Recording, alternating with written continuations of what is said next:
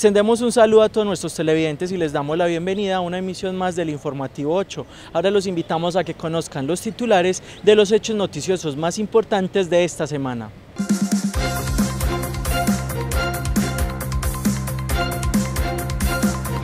Amagá contará con nueva sede de la Agencia Nacional de Minería. Mesa LGBTI conmemora el Día contra la Homofobia. Amagá se convierte en sede para capacitar a instructores de actividad física en el suroeste. Conozca a Ancol Music y su nuevo trabajo musical Solo y Borracho. Al finalizar, el libro recomendado de la semana, Historia de Colombia y sus oligarquías.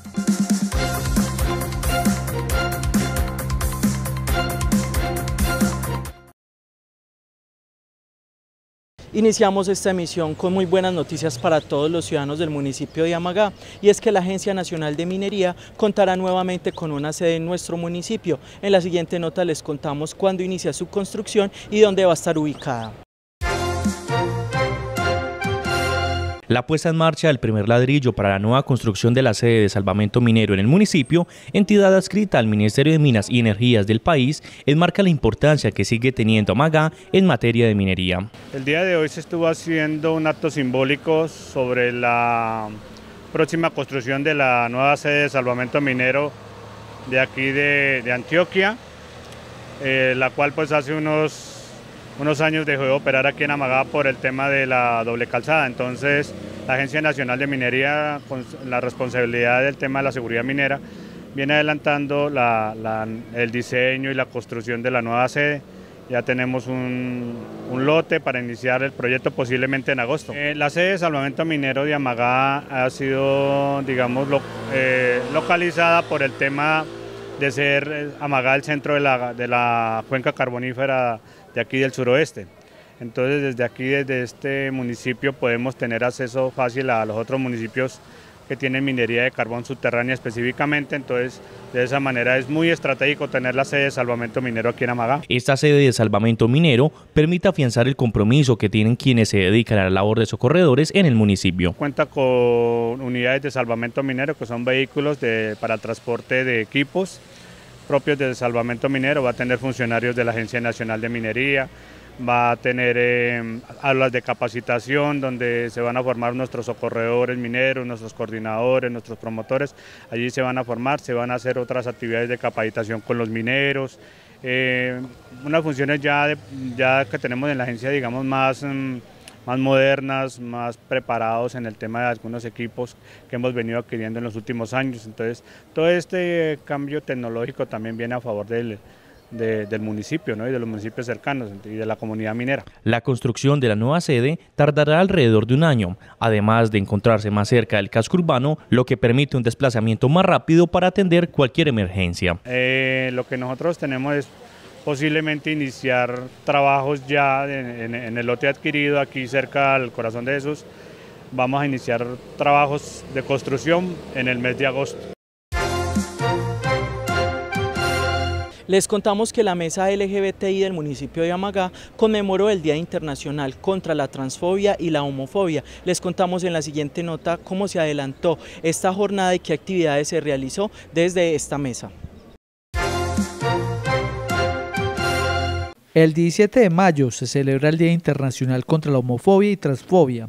Desde la mesa LGBTI se conmemora este día con una velatón en honor a las personas que han sido perseguidas por su condición sexual. en el municipio de Amagá desde el año 2016 contamos con un acuerdo municipal que tiene los lineamientos de política pública para la población LGBTI y desde ahí hemos venido conformando la mesa y fortaleciendo diferentes procesos en pro del restablecimiento y el respeto de los derechos de la población LGBTI del municipio.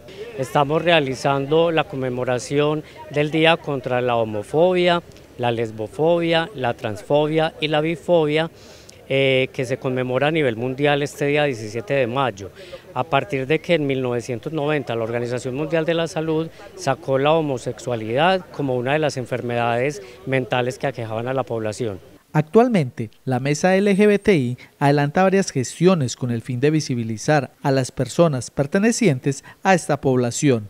La importancia de hacer parte del colectivo y la, y la mesa LGTBI del municipio es porque desde allí tú puedes hacer respetar los derechos que tenemos nosotras las personas diversas y también podemos hacer parte de los procesos, de las actividades a desarrollar y a planear.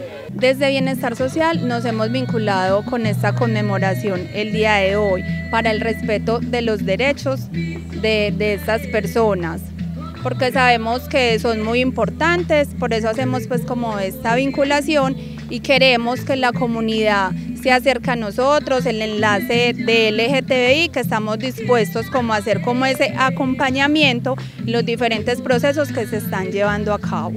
La mesa LGBTI pretende escuchar a esta población y vigilar por el respeto de sus derechos. Actualmente se encuentran activos y hace la invitación a los demás ciudadanos a pertenecer también de la mesa. Eh, la importancia de que la población LGBTI esté organizada eh, se hace imperante en la medida en que cada uno se visibiliza y se hace líder como sujetos de derechos en un país como Colombia que somos un país laico que, en el que somos considerados eh, como plenos y garantes de derechos. Y es importante organizar los colectivos y este tipo de población para poder trabajar juntos y hacer juntanzas en pro del bienestar de la población LGBTI. En otras noticias les contamos que el municipio de Amagá se convirtió en sede para una reunión que se llevó a cabo con Indeportes Antioquia en el marco de la estrategia de Por su Salud Muévase Pues. Les contamos cómo se llevó a cabo esta estrategia en el municipio de Amagá y qué actividades se desarrollaron en ella. El municipio de Amagá se convirtió en sede del primer encuentro del curso de rumba aeróbica enfocado a la promoción de hábitos de vida saludable. Este evento contó con la participación de varios municipios del suroeste antioqueño. Hoy tenemos la posibilidad de contar con este evento en el municipio de Amagá, abarcando otros municipios de la subregión del sureste antioqueño, con el fin de capacitarlos y que podamos transmitir eh, todos estos conocimientos a la población de nuestros municipios. En el programa de Por su Salud Más, pues tenemos diferentes grupos de actividad física, como lo es uno que está muy fortalecido, eh, el de rumba aeróbica. Tenemos varios procesos desde iniciación hasta adulto mayor en estas modalidades. Con estos encuentros se busca brindar herramientas que permitan dirigir clases de actividad física musicalizada a través de rumba aeróbica, además de conocer la estructura general de estas clases. Bueno, lo que buscamos eh, con este curso que está eh, dividido en dos módulos, eh, en dos jornadas diferentes, con dos fechas diferentes, es que podamos eh, brindarle a todos los profes, incluso a nuevos líderes, la posibilidad de adquirir herramientas que nos permitan y les permitan a ellos eh, dirigir una clase de actividad física musicalizada, ¿cierto? Y que a través de la estrategia de la rumba aeróbica, pues ellos tengan herramientas prácticas que puedan poner en práctica y puedan iniciar ya sea un reemplazo, ya sea eh, nuevos grupos en el área rural o ya sea urbana, pero que tengan el, el, concepto general de lo que es la estructura de una clase de rumba. La importancia de la actividad física radica en el movimiento. Caminar, montar a bicicleta o practicar algún deporte puede aportar a mantener una vida saludable. Bueno, pues la invitación es muy especial para que todas las personas que ya hacen un uso adecuado de las instalaciones, de los espacios que tenemos, eh, de los centros de promoción y demás, que, motiven a otras personas y que ellos den ejemplo del buen uso de estos escenarios, listo, a través de eh, pues, el ejemplo propio y que ojalá cada vez se inviten una persona y que podamos adherir más y más gente a la actividad física. En el informativo 8 también le damos la oportunidad que participen los artistas emergentes. En esta oportunidad los invitamos a que conozcan Ancol Music y que nos presenten su nuevo trabajo musical.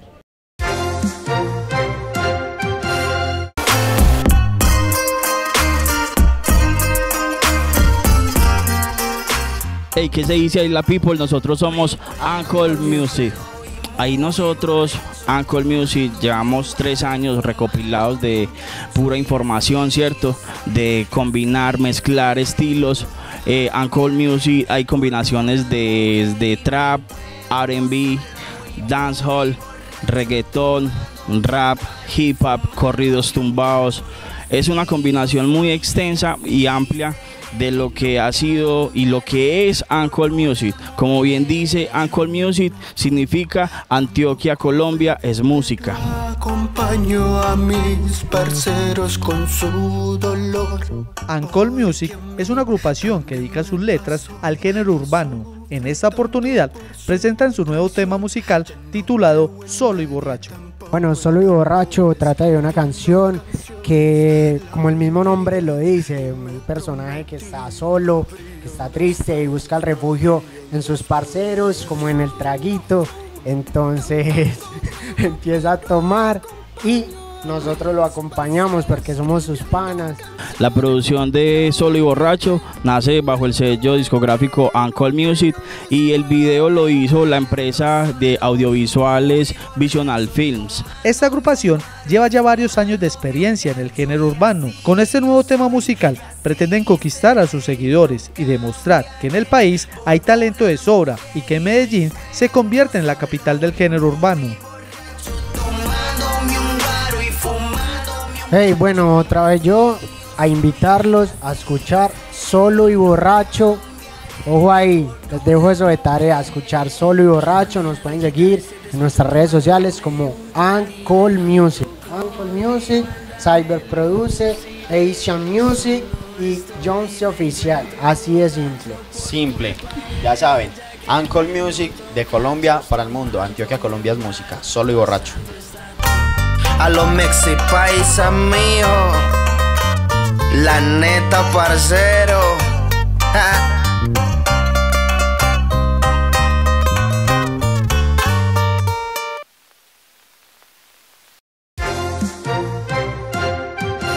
Y desde la Biblioteca Pública Municipal Emiro Castos saludamos a Jason Mazo que nos trae el libro recomendado de la semana. En esta oportunidad traemos el texto conocido como Historia de Colombia y sus oligarquías. Hola a todos, soy Jason Mazo, lector y amigo de la Biblioteca Pública Municipal Emiro Castos de Amagá y, y hoy quiero proponerles una lectura la de este libro, que es de verdad imprescindible. Historia de Colombia y sus oligarquías, del fallecido escritor, periodista y caricaturista colombiano Antonio Caballero.